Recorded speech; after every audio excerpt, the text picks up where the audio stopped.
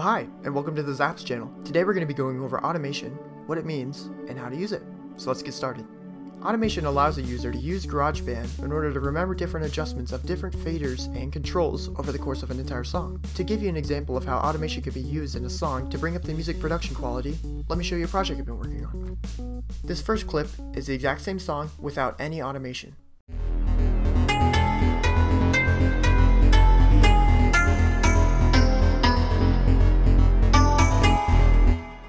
And the second clip is with the exact same song, but different automation and then some drums I added in as well.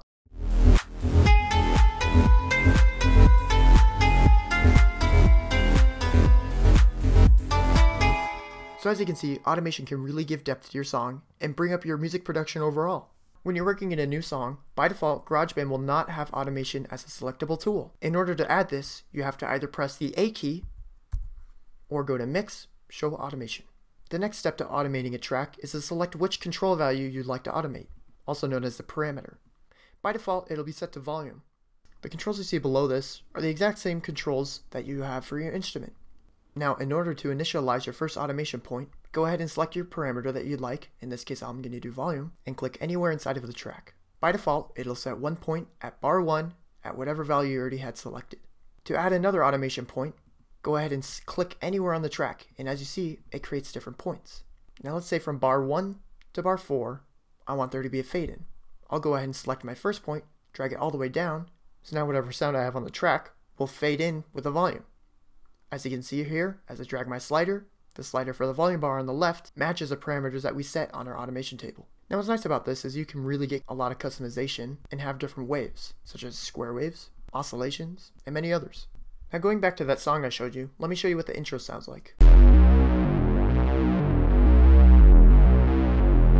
So as you can see, it's just a simple arpeggiator that goes for the first 8 bars of my song. But the problem is I want to add some more depth to it. So I'm going to go to Automation, and I'm going to select Cutoff from the Smart Controls.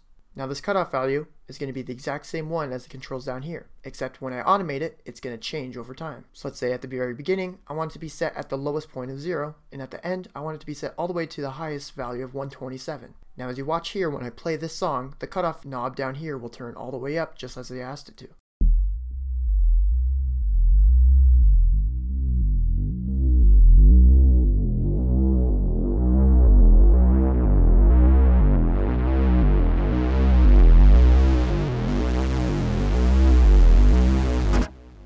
So as you can see, that's a really good way to add some depth to your intros and other parts of your song. Now if you click on the automation parameter, the very bottom ones, which will be in a bold text, are going to display which ones you have any automation values in. As here you can see I have the mix has changed, the decay has changed, and so is the cutoff. Now at any point, if you feel that you're a little overwhelmed with the automation that you have and you'd like to just start over, you can go ahead and click mix and then delete all automation on selected track. And this will remove everything from that track.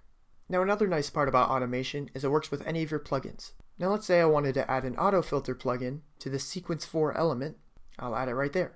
And let's say I want to drag this cutoff value instead of the one down here. Well for automation, it's pretty simple. Instead of being in the smart controls, I'm going to go down to the bottom where I see plugins, I'm going to choose my auto filter plugin I added and then cutoff. Even though this is the same name, it's actually a different value. So if I bring this one up and I want to start high and go low, now it'll sound like this.